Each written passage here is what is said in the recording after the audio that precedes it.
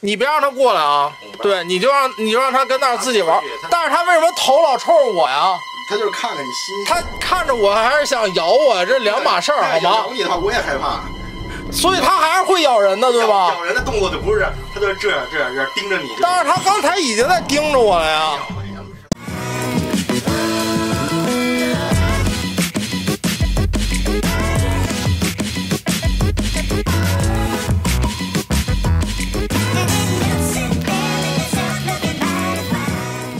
那个来了一特神奇的哥们儿的这个，这算什么？我不知道这算是他的工作室还是他的家还是什么，反正就是这个状态，你们也看见是什么样了。对我也不知道这算家还是不算家，反正就是这么一地儿吧。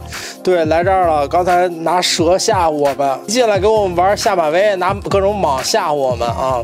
那今儿让他给大家聊聊他到底在干嘛啊？你给大家做个自我介绍吧。行，然后大家好，我叫王涵。然后我现在在日本，就主要主要是做这个自己的手工，嗯，皮具，然后银饰、刀具这一块，嗯，反正就是做东西，嗯。你做了多少年了？我来日本以后就开始，就是你来日本以后才开始做的。那你来日本之前你就想好来这边做这个吗？没想好，但是那为什么来了以后就喜欢干这个了？纯喜欢这个契出发点跟契机是什么？契机开始做刀是开始的，国内也喜欢刀，买过一些量产的便宜的刀。嗯，然后来日本以后，朋友介绍说上野有刀店。嗯，然后我就去看看刀店有介绍刀展。嗯，然后我就去刀展。嗯，然后就开始做东西了。然后也是买那个套装，就是半成品拼装，然后皮具就开始了。嗯，所以是先做的刀，后开始做的皮具。对，先做刀，后做皮具，然后再最后做的银饰。哦，最后做的银饰。对对对对。哦，呃，我大学上的是产品。嗯。然后皮具就是大学就已经开始，原来是代购皮料什么的。嗯。啊，就已经开始做皮，就是自己在琢磨。哦。然后还有和日本那些职人，我好几个师傅。好几个师傅。好几个，呃，现在最亲的有一个，然后有教过我的可能有三四个吧。嗯，一共加起来有三四个。三四个啊。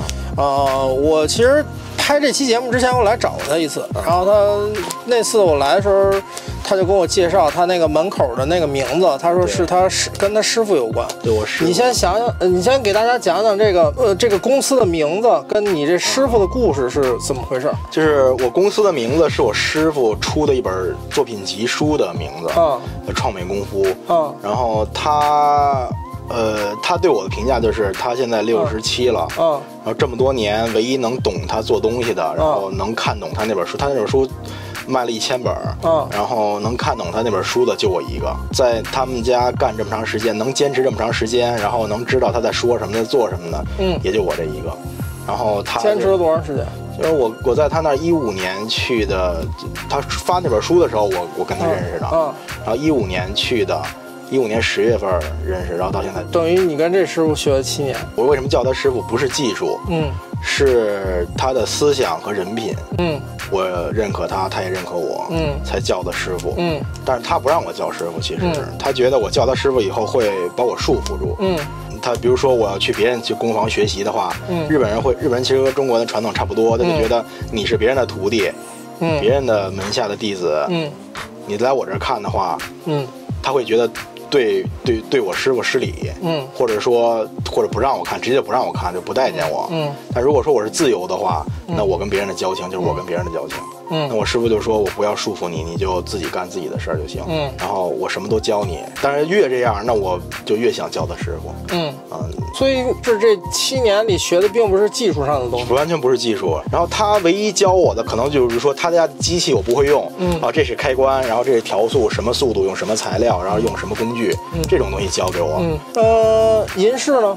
银饰其实按说银饰会给我一种感觉，反而是。最精细的不是，其实，比如说银饰上面有很多那些细节的东西，那个不应该是最精细的？当然，当然是最精细的。其实就是从工艺上来讲的话，嗯，呃，这三个，嗯，呃，皮皮具其实入手入呃入手也比较简单，就是但是银饰是属于皮具之后相对好入手的，嗯，呃，因为黄铜或者是银之类的东西，只要有一些基础知识就可以做出作品。嗯，所以就是像你说的，现在这些很多银饰品牌，它其实挺好做的，挺好做的。真的假的？其实有些东西不需要说，呃，我这个东西呃花了多少心思，然后我去雕刻它，然后然后做了一批都是一样的东西。嗯，那个在内行人看来说，那就是宣传的不错吧？宣传不错。那你觉得 Golos？你我不是我们不说，我没有说吧，没事儿。嗯现在的 Golos 不是高桥五郎当年的，嗯。就是现在的现在的高露丝，或者说市面上通货的高露丝，其实我都可以，我这有书直接教你们看，黄金的、白银的，嗯。它的细节、划痕都一模一样。你跟。我说它是一个一个手工做出来的，这逻辑本身就不同。但是他们现在买这个东西，这些细节就是必须得一模一样，才能说明这东西是对的。那我还是佩服它流通的很牛逼，嗯宣传的很牛逼，嗯那是我佩服的地方。我也曾幻想我能达到它那种高度，但是大家点不一样吧，嗯潮流的点，或者说其实大家种的点都不一样。嗯，嗯，不能说好或者坏，你得要去分析嘛。我觉得还是看看实物吧，看看正儿八经的东西吧。看东西嗯，你这做晚了。你知道当年浩南他们争那个铜锣湾的时候，你要是当时在香港，我估计你这这生意太好了，真的。浩南他们应该人手一把。这套项链的想法其实是一个是质感的感觉，再一个是怎么说模块化。嗯。就这一部分，这个链子原来是手链上的一环，嗯。然后这个钩子原来是卡包上的一个钩子，嗯。然后黄色的黄铜这个这个狗钩其实是嗯。包上的一个五金，然后下面再配我的一个呃挂坠，嗯。然后有一套搭配的感觉，然后其实每一环都可以换，嗯。然后每一环的设计语言可以在其他的作品上看到，嗯。然后有一个，我觉得是有一个品牌的一个，就是系列性的一个感觉在里面，嗯。玩法比较多的一个感觉。嗯，这个呢？这两个呢？然后这个就是想着全是花儿，脑子里当时脑子里全是花儿，然后然后这么花呀你？我就单纯的想想那个花儿，看不出来你是花呀，就光没没看出来你花呀。这个花儿和这个花儿和花是两个意思，你知道吗？这个呢？这个其实是这个为什么弄成这样呢？这里面是搁祖母绿，嗯然后我想把这个祖母绿藏在里面，嗯然后然后这个手链这个链子是是第一款，嗯就是这是我第一个银饰，然后嗯这第一个银饰直接卖的特别好，嗯啊。就这么一个一个一个一个造型，然后这是最近做的，嗯不会不一样。这是第一条，然后嗯呢，其实就是活动性啊，其实这链子的理解都不够，但是这个已经带的我觉得非常有味道。这个这个颜色为什么感觉跟石头一样呀？就这个，其实这两个处理效果就是完全不一样，就是在工艺上来说，嗯这个就是普通的这个就是硫磺发黑，嗯市面上那些银饰都是这样。嗯这个其实是传统工艺，是用氯青然后煮的颜色。哦，所以跟硫磺发黑的跟瓷似的啊。对，这就是宣德，就是宣德炉那种发色效果。嗯然后如果硫磺的话，就是类似于那种腐蚀的感觉，嗯但其实不是腐蚀，就是会有化学反应，让它就是发暗发雾，嗯。然后就光泽就没了。呃，前面你讲这个刀的这个那什么，这一块是什么？是铜吗？铜的铜板，然后所以这些划刃这种跟那个杵爪一样的。啊，这个是你打出来的，对我打出来雕刻出来的，嗯，然后这种颜色的这种也是烧出来的，烧出来的，然后这个是松石，松石。啊，这也是红铜钉儿，铜钉这一个一个钉都是我每一个一个手工做。的。嗯呃，这个呢，这鹿角，这是鹿角。鹿，角，这是什么皮？牛鹿皮，这是鹿皮，然后嗯。抽这个主体是嗯。牛皮的，哦，这是牛皮的，对。然后这个把儿是鹿角，这把也是鹿角，这是北海道的那个梅花鹿，北海道梅花鹿。所以你刚才说这个这这把刀得奖了，对，这把刀得奖，得了关市的那个市长奖，应该是刀具行业就定制刀具行业里的最高的一个奖，中国人头一回，应该是中国人。嗯，独一份儿呗。独一份儿，那如果有有朋友看这期节目想要这怎么办？那定了，但就不一样了吧，长得？不一样，哦每一个都不一样。哦，对，就是如果你们看节目想买东西的话，但是就像他说的，可能每一个东西都不一样，对，他不乐意做一样的。对，但好像咱们能做一样的，对不对？嗯，完全一样，完全技术不是问题，来点小银饰什么的，那可以，能给大家也也。有有点好玩的东西，可以。那只要还是要有意思，如果太无聊的话，嗯，我我其实没有什么太的干劲儿。OK，好，明白。那算是节目专利嘛，出一个小量产的东西那完全没有，可以，我可以做一批，然后我告诉你，就没了。然后以后你看我心情做吧，OK，没准有，没准。行，可以。怎么最开始想起来做了一女包啊？嗯，其实也初衷其实并不是女包为主题，就是嗯我做作品是喜欢有一个话题性，或者说有一个研究的一个怎么说呢，一个标题 tema 的一个、嗯。一个概念起点去做这个包。嗯。其实这个包的概念原本是明治时代或者日本古代那种烟草包，嗯。特别小那种烟草包的扩大版本。嗯嗯嗯。然后我觉得这个是很适合那种嗯。怎么说贵妇人那种嗯。日式的那种嗯。宴会的嗯。场合去用的。然后这个部分是什么石头这个部分不是石头，是海象牙的化石。？What？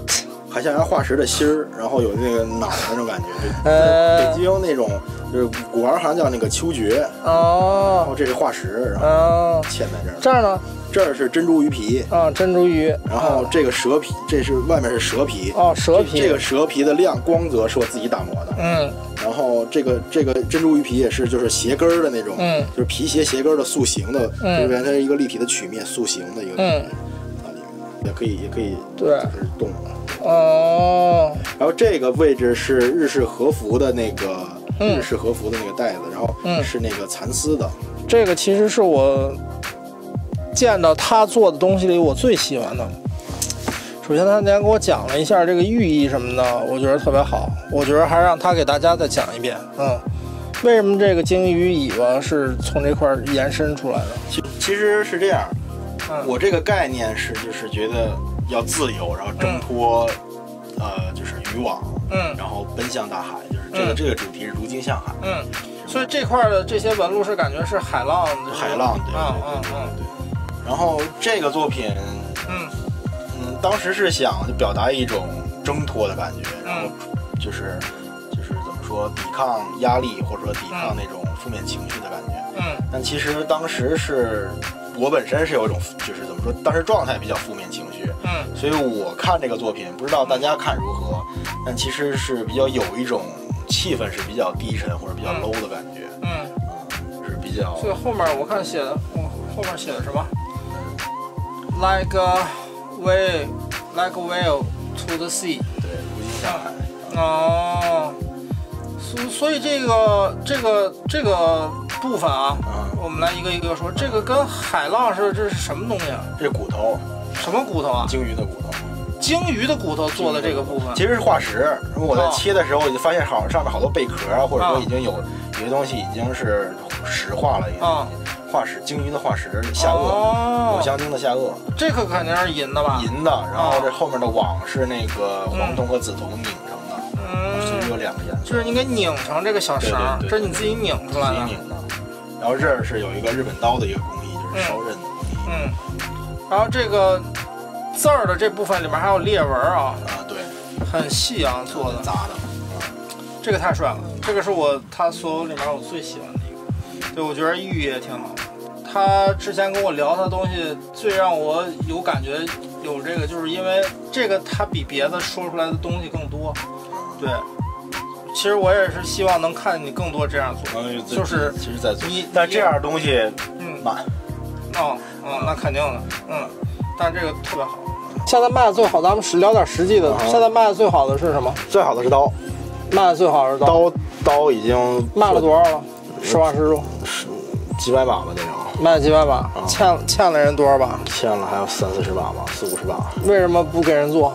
因为我想对作品负责，我不想对人负责。嗯，所以就是我在这儿插一句啊，嗯就是现在也有好多朋友找我们买日本银饰，出货期、出货周期特别长。我觉得你从一个你干这个事儿的人角度来给大家讲解一下，就好多人就一直在那儿催，就觉得好像催了这东西就出来了，是那么回事吗？嗯，我就以单纯的来说，就是嗯。纯不想做，你是纯不想做，纯不想做。为什么不想做是有理由的，嗯。就是我想对作品负责，嗯，就是这个作品你品。你不希望人家催，然后你糊弄一下出来对对对对，这个东西，这个过程不开心，然后然后客人可以开心的买走，我的内心是不允许。嗯，还是想把这个东西做好。比如说你自己的东西啊，你自己的东西如果是一百分，你给你现在的程度打多少分？我打六七十吧，能做到一百分吗？我做不到一百分，我是这么我是这么评判的嗯，六十嗯是及格，嗯我自信能卖能卖这东西就是嗯六十分，嗯呃，如果说八十分的话，我觉得很好，嗯，如果九十分的话，就是那种一边喝酒一边哭一边看着作品，我操，好美啊，就那种生理愉悦。嗯一百分的话就可以去死了，嗯，啊，打算什么时候死？嗯，我想先成名吧。哦。